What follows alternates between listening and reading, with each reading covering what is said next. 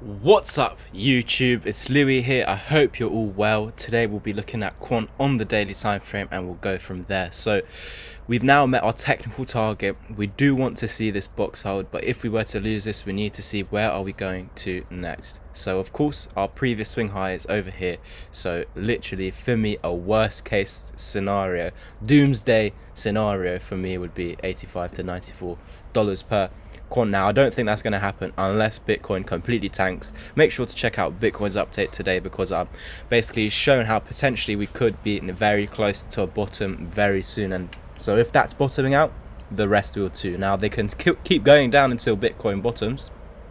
But if Bitcoin does bottom and starts heading back up, no matter how bad your altcoin chart looks, Bitcoin will drag it back up, even if it looks like it's going to hell and it's putting in lower lows or whatever. So our target's been met over here. We'll now go to the oops four hour time frame to see what is going on and to see if our actual technical targets using the fibs have been met. Of course, we were expecting this swing low to meet because we lost this previous swing high, and when we lose a swing high, we come to the swing low, and that's why we've been using this as a, a bright, uh, an amazing example. You can see you had a swing high, swing low, you come up, made a new one, made new swing high and then you came back down to form a swing low on the previous swing high lose this you're coming to this and this is what we're seeing right now. You lost support over here you come back down to it got above resistance confirmed that support holding holding holding. Obviously coming down like price was getting pushed down by the 200 EMA lost support gone to the next one and now potentially could even be losing this. And we need to see is this because we're trying to meet our technical target before getting back above this box or, or literally are we heading lower? This is what we need to work out today. So i'm going to put the fibs back on from yesterday's update. Thank you guys. That was my highest ever watched video. We had 1.4k people 1400 people watching yesterday's quant update. So thank you all of you. Please subscribe to the channel. That is what's going to help our channel grow to get this video out to more like-minded people who are looking at quant for gains going into the future.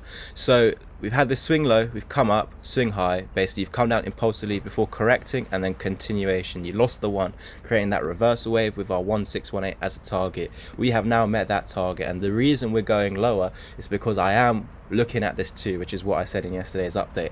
And the reason why I'm looking at 140, 139 is because once we've measured this larger uh, impulse to the upside. You can see that we lost that one and you're coming to this 1618 down here at $139. Why? Because you lost the one here, coming down, your target is the 1618. However, let's get rid of this now because the target's been met. However, you could have bounced from the 1.272 and got back above the 1 and that would have invalidated any further downside if you could basically hold the 1 as support again. But we never even had that push we um, came all the way down to that 1414, then had that push to the upside, got rejected by the 1.272 with wicks to the top at resistance. Wicks to the top is going to drop, and that's why we've seen us come back to the low of this range.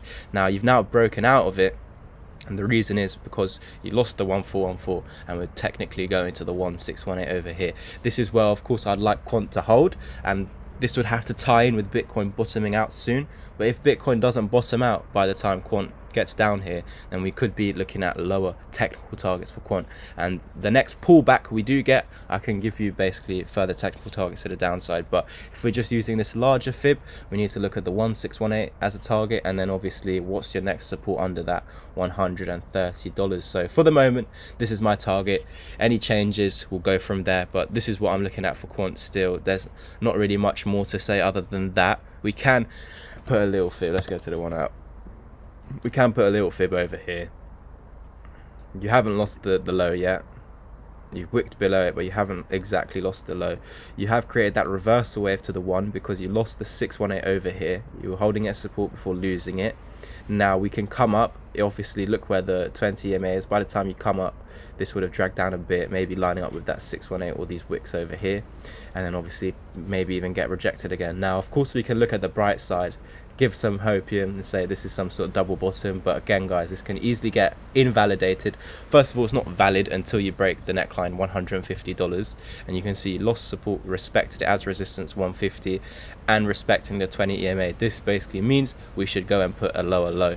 And you've done that now with the bodies but are we going to break this wick? Potentially. Why? Because again you come up to the 786 which we would have liked to get above to basically ignore further downside but you rejected it we wick to the top at resistance that means we're going to drop put in lower low so we should now go lower than this low which we currently are but i mean with the candle closure. Lose this one level you're now coming to this 1618 at 137 dollars. Slightly lining up with this 1618 here but i think that if you were to stop over here it's because of obviously this target but also these other two because as we know with the fibs this is your target down here the 1618 but it doesn't have to be met. You can have bounces from the 1.272 or from the 1414 and if you can confirm the 1s support you can start heading higher basically. You can also lose the one again validating further downside so just letting you guys know that. So for the moment i'm still looking at 139 you can see our new 1618 is down here but yeah more focused on this one maybe a little bit down there. Hold that before continuation to the upside. Lose it lose this and we obviously look at this as our next technical target. 129 dollars potentially our, our bottom if this is not already. So guys that's it. I hope you enjoyed the video. Please smash the like button. Of course subscribe and help the channel grow and comment. That would be lovely. I'll catch you guys in the next one and as always peace